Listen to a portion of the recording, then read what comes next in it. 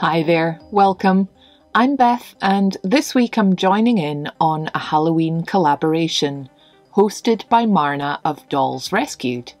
She's invited everyone to join in on an open collaboration called Tiny Witch. The idea is to show off your smallest dolls dressed as a witch. I've decided to transform one of my petite Blythe dolls, and I'm actually going to be customising a genuine stock doll. She's all gold in one from 2003 and was one of the last keychain type petite Blythe dolls. They had non moving eyes, arms, and legs.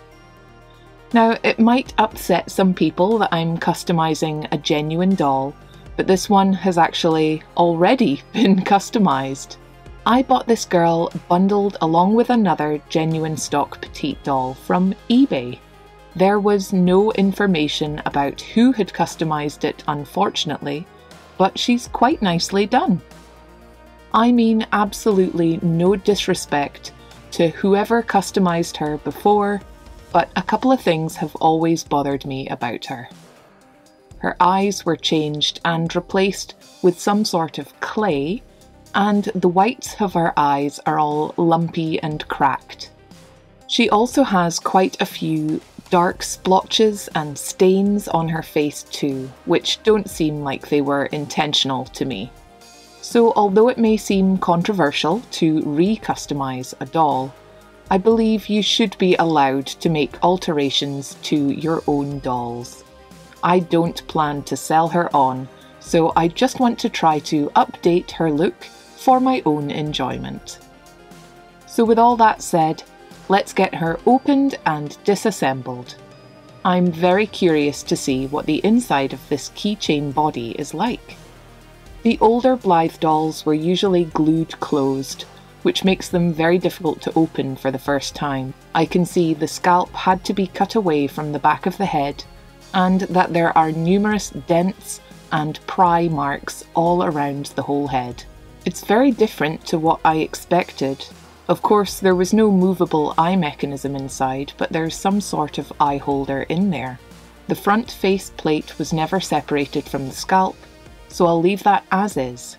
I'll just have to cover up the hair when I come to spraying the face. I push on her eyes gently and they pop out quite easily. The eyelashes were glued directly to the top of this plastic eye holder.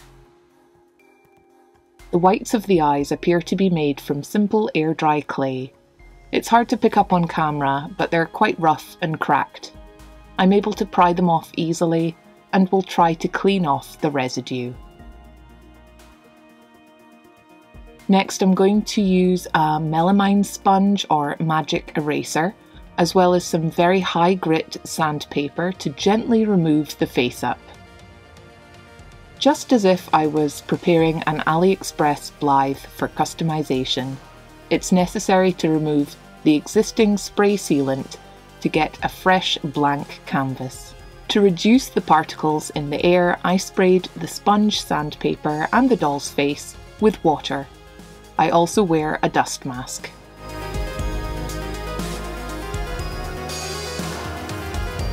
Some parts of her face are more difficult to remove the paint from, so I use my carving tools and a curved scalpel to scrape away the paint as gently as possible.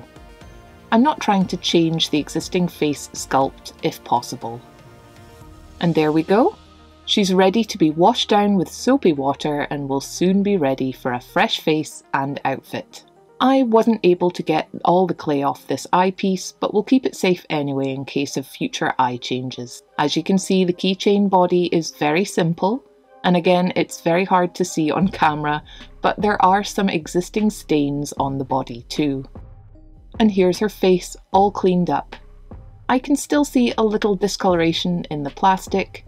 I tried my best to smooth out and sand down all the pry marks around the edges. She has a very cute little face. There was absolutely nothing wrong with the way she had been sculpted. I'll go give her a scrub, let her dry thoroughly, and then we'll give her face a couple of coats of Mr. Super Clear Matte Sealant Spray. I'm going to start this face up with my trusty watercolour pencils and go straight into sketching out where I want her eyebrows to be. I've got absolutely no plan going into this customization and I'm going purely on vibes. I'm going to let the position of her eyebrows dictate her expression. I soften them out with a tiny brush and start adding more detail around the eyes, a little eyeliner and the hint of an upper eye crease. I start off softly with a light brown pencil before going in bolder with a black pencil. Be sure to like the video and subscribe for more top quality and definitely in focus scenes like this. I use small soft brushes to gradually build up layers of pastel colour, warming up her cheeks and lips. I build up a few layers of colour to add more saturation and eventually add some water transfer decals to the back of her head as well. I love autumn and decided to add lots of colourful leaves to remind me of the season which I worked on her. While I wait for her last coats of MSC to cure, I look out my completely normal collection of tiny eyeballs. This is definitely something that everybody has. I made all these many, many years ago now using polymer clay, paint and liquid Sculpey for the clear domes. I'm going to look through some of these and see if any will be suitable for her. Here she is again after her final sealant spray, ready to try out some new eyeballs. I also found these ones.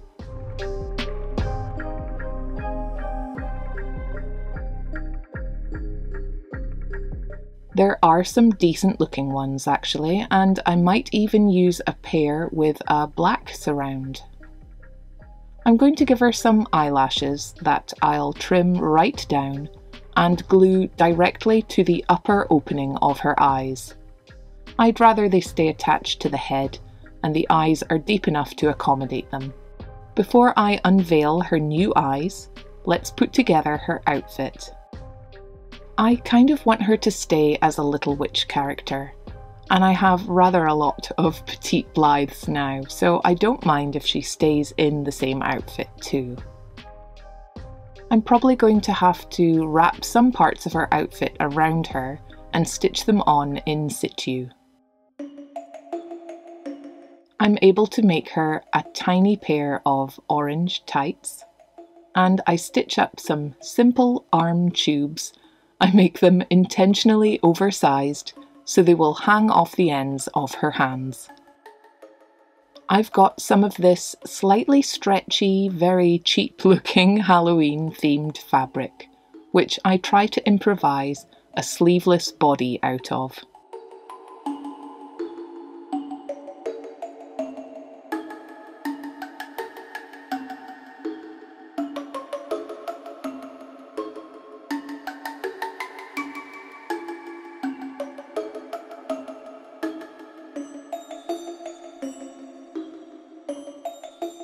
Managed to get it over her fixed position arms, but I'm not sure I like it.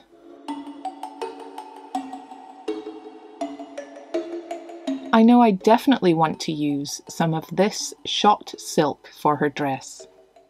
I bought it recently in Edinburgh, and I love that it has two different colours of thread running through it. I take a simple rectangle and gather the waistline with two parallel rows of hand stitches.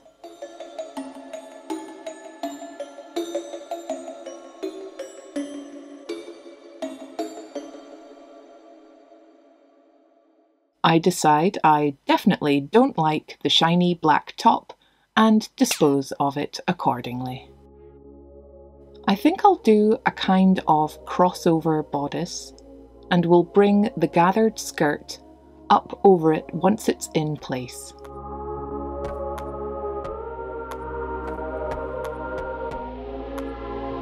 I really like the stripy long sleeves, and I love the purple and orange colours too.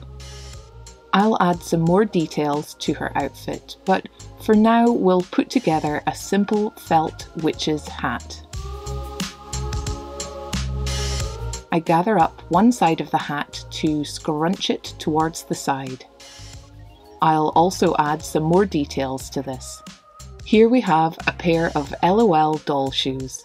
I picked them up loose in a charity shop and wondered if they might fit a petite Blythe and if they could be repainted.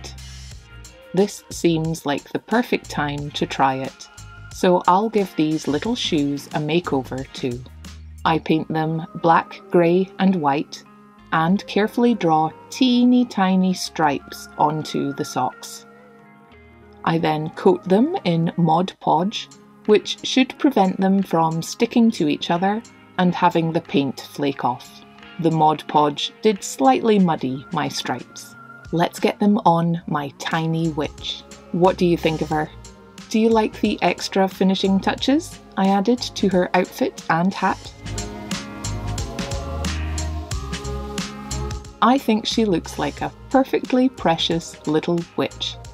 And the shoes even fit perfectly too. I think they look really adorable and help to balance out her proportions. They're fitted snugly enough that they shouldn't drop off easily either. Oh, I shouldn't have said drop. Well, I'm really delighted with how her new look turned out. Again, I mean no disrespect to her previous face up, but I'm very happy to have her looking brighter and more fresh faced. Which version did you prefer? Oh, and her eyes?